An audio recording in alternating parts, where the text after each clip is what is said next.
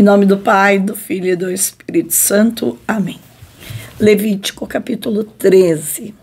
O Senhor disse a Moisés e Arão: Quando um homem tiver um tumor, uma inflamação, uma mancha branca na pele de seu corpo, e esta se tornar em sua pele uma chaga de lepra, ele será levado a Arão, o sacerdote, ou a um dos seus filhos sacerdotes o sacerdote examinará o mal que houver na pele do corpo, se o pelo se tornou branco naquele lugar e a chaga parecer mais funda que a pele, será uma chaga de lepra.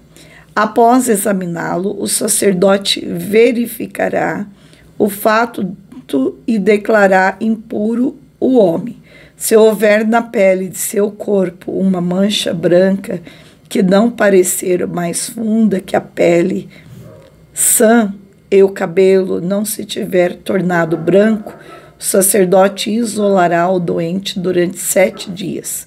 No sétimo dia, o sacerdote examinará e, se a chaga parecer não ter progredido e não tiver estendido pele pele, pela pele, ele o isolará uma segunda vez durante, se, durante sete dias. No sétimo dia, o sacerdote o examinará novamente e a parte afetada perdeu a sua cor e não tiver estendido por sobre a pele, o declarará puro. É, um, é uma simples inflamação. O homem haverá o homem lavará suas vestes e será puro, mas se a inflamação se estender por sobre a pele depois de ter mostrado ao sacerdote para ser declarado puro, se lhe mostrará uma segunda vez. Se o sacerdote verificar a extensão da inflamação por sobre a pele, o declarará impuro. É lepra. Quando um homem for atingido pela lepra, será conduzido ao sacerdote que o examinará. Se houver na pele um tumor branco e este tiver branqueado o cabelo e aparecer a carne viva no tumor, é lepra, inveterada na pele de seu corpo.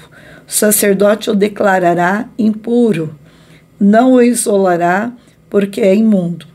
Se a chaga se estendeu por toda a pele do doente, da cabeça aos pés, o sacerdote que o examinar, verificando, segundo o que viu, que a lepra sobre toda a pele o declarará puro, como se tornou completamente branco, é puro.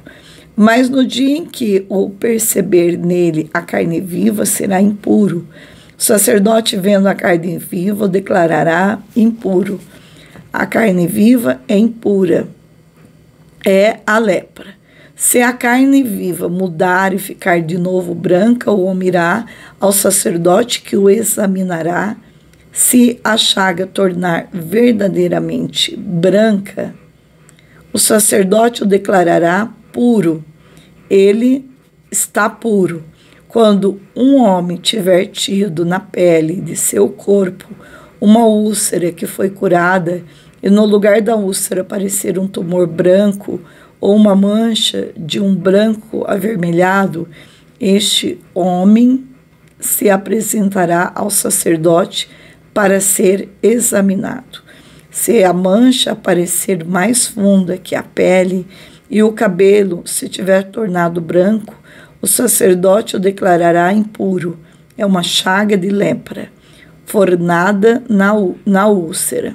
Mas se o sacerdote verificar que não há cabelo branco na mancha, e ela não parecer mais funda que a pele, e se e ela não tornado de uma cor pálida, isolará esse homem durante sete dias. Se a mancha se estender por sobre a pele, o sacerdote declarará: o homem impuro é uma chaga de lepra. Mas se a mancha ficou no seu lugar sem se estender, é a cicatriz da úlcera. O sacerdote o declarará impuro. Quando o homem tiver na pele uma queimadura de fogo e a cicatriz dessa queimadura apresentar uma mancha branca ou de um branco avermelhado, o sacerdote o examinará. Seu cabelo se tornou branco na mancha e essa parecer mais funda que a pele é a lepra que se formou na queimadura. O sacerdote o declarará impuro e é uma chaga de lepra. Se o sacerdote verificar que não há cabelo branco na mancha e que não parece mais funda que a pele, e se estiver tornado de uma cor pálida, isolará esse homem durante sete dias.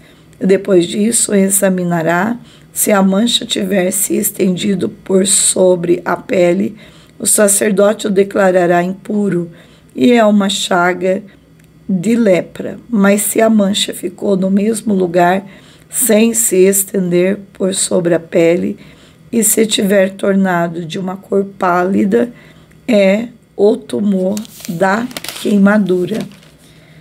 O sacerdote o declarará puro, pois é a cicatriz da queimadura. Quando um homem ou uma mulher tiver uma chaga na cabeça ou no queixo, o sacerdote examinará a chaga. Se ela parecer mais funda que a pele, e nela houver os cabelos finos amarelados, o sacerdote declarará impuro o enfermo. Esta é a tinha, esta é a tinha, a lepra da cabeça ou do queixo.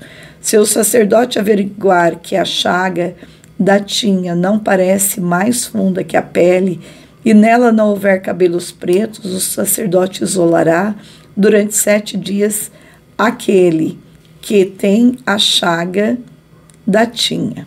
No sétimo dia o examinará. Se não, se a tinha não se espalhou, nela não houver cabelo amarelado e a chaga não parecer mais funda do que a pele, o enfermo fará a barba, exceto no, no lugar da chaga, e o sacerdote o isolará de novo durante sete dias.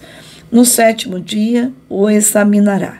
Se a tinha não se espalhou por sobre a pele e a chaga não parecer mais funda que a pele, o sacerdote o declarará puro. Ele levará suas vestes e será puro. Se, entretanto, depois que o tiver declarado puro, a tinha se estender por sobre a pele, o sacerdote o examinará. Se a tinha se tiver espalhado na pele, o sacerdote não procurará o cabelo amarelo, porque o homem é impuro. Se a tinha lhe parece estacionária e nela houver crescido cabelos pretos, ele sarou. O homem está puro e o sacerdote o declarará como tal.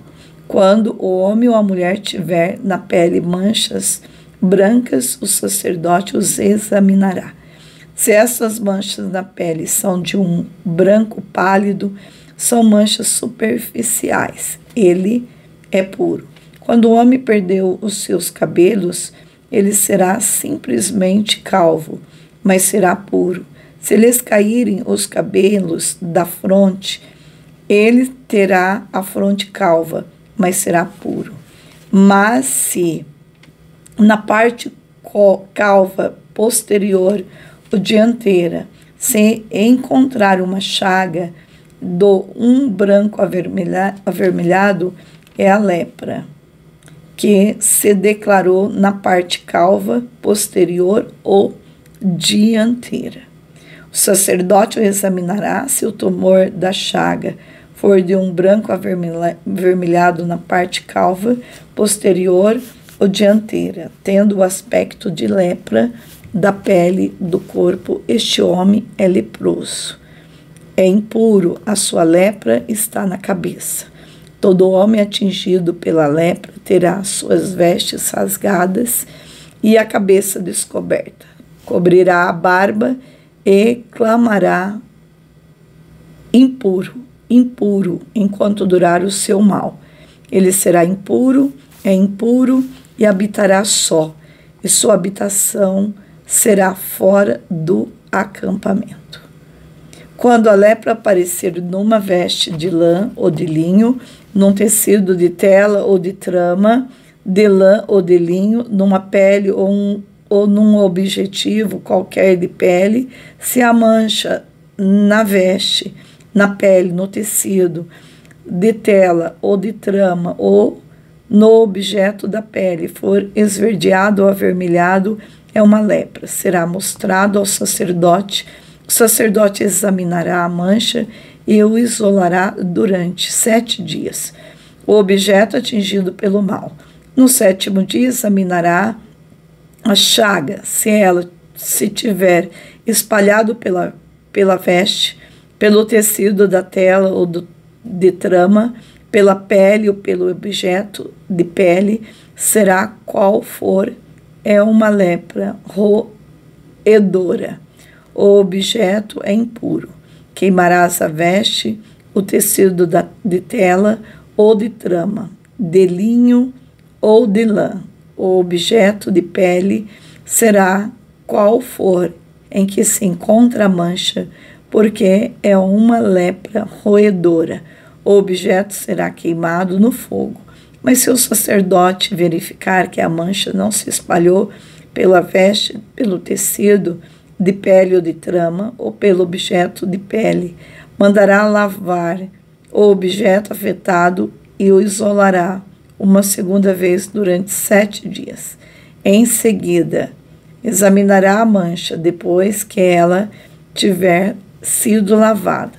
Se não mudou de aspecto, nem se espalhou, o objeto é impuro. Tu queimarás no fogo a mancha, roeu o objeto de um lado a outro. Mas se o sacerdote verificar que a mancha lavada tomou uma cor pálida, arrancará da veste, da pele ou do tecido, de tela ou de trama se ela voltar novamente a um objeto de pele. É uma erupção da pele. Tu queimarás no fogo o objeto atingido pela mancha. Mas a veste, o tecido de tela ou de trama, o objeto de pele será o que for, que tiveres lavado e do qual a mancha tiver desaparecido, será lavado uma segunda vez e será puro. Tal é a lei relativa à mancha de lepra que a atacar as vestes de lã ou de linho, os tecidos de tela ou de trama, ou qualquer objeto de pele. É segundo ela que se declararão esses objetos puros ou impuros. Palavra do Senhor. Graças a Deus. Então, texto hoje bastante comprido, né? Para a glória de Deus, muito longo, mas vamos ver o que o Senhor quer nos dizer nesse capítulo, então, 13. Lepra é o nome dado a, a várias doenças diferentes, muito temidas nos tempos bíblicos. Algumas dessas doenças, ao contrário, da que chamamos de lepra ou de mal de Hansen, hoje era altamente contagiosas. A mais grave assolava o corpo vagarosamente e, na maioria dos casos, era fatal. Os leprosos eram separados das famílias, dos amigos e retirados do acampamento. Uma vez que os sacerdotes eram responsáveis pela saúde de todo o arraial. Era deles a tarefa de expulsar ou readmitir os leprosos. Se a lepra de alguém aparentava ter desaparecido, apenas o sacerdote poderia julgar se a pessoa estava realmente curada. Na Bíblia, a lepra costuma ser uma ilustração do pecado, por este por ser este contagioso destrutivo e conduzir à separação. uma pessoa com doença da pele contagiosa tinha de realizar este estranho ritual para impedir que outros se aproximassem por esta doença. Por ser a doença descrita como contagiosa, o povo precisava manter-se afastado dos doentes. Em nome do Pai, do Filho e do Espírito Santo. Amém.